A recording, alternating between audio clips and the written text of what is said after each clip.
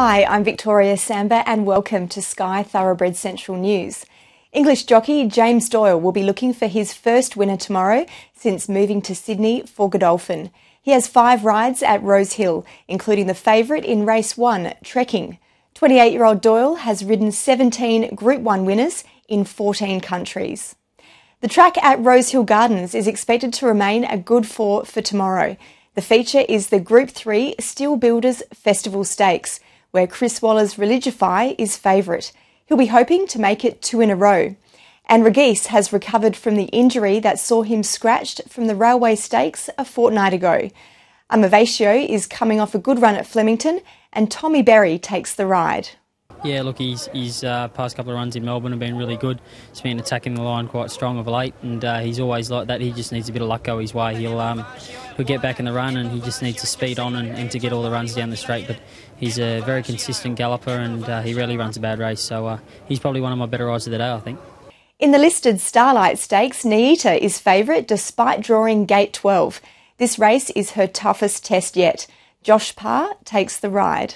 What a lovely filly. Uh, a brilliant turn of foot. She um, she goes into into the race deserved favourite, albeit she has to take on probably the hardest field she's met to date. Uh, you get her to relax. She starts breathing correctly. Uh, she gets herself into a really nice rhythm, and that's when you see the an exceptional turn of foot.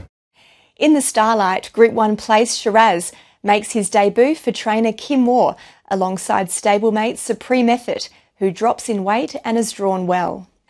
Tomorrow's provincial meeting is at Newcastle. One to watch is the Chris Lees trained Biscuit Time in race four. He raced greenly when running second on debut and will be fitter this time out. To interstate, Perfect Reflection is on the top line of betting for the Kingston Town Classic in Perth tomorrow after her third place in the Railway Stakes last start and her impressive career record of six wins from 10 races. Too Good to Refuse may prove exactly that for punters as he chases his second straight win in the George Moore Stakes at Eagle Farm.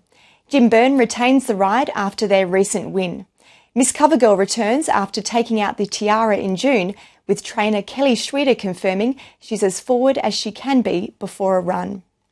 Internationally, the focus is on Hong Kong, with Rebel Dane leaving Australia on Sunday afternoon. He'll be stabled with Takedown and Benzini, who is set to run in the Hong Kong Vase Sunday week.